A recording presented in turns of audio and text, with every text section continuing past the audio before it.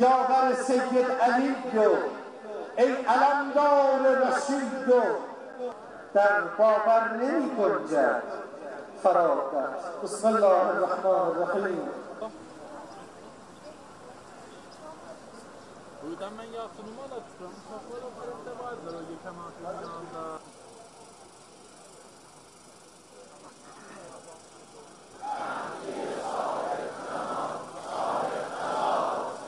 عزا عزاست امروز حساسترین شرایط خارجی ما دیپلماسی قوی خود را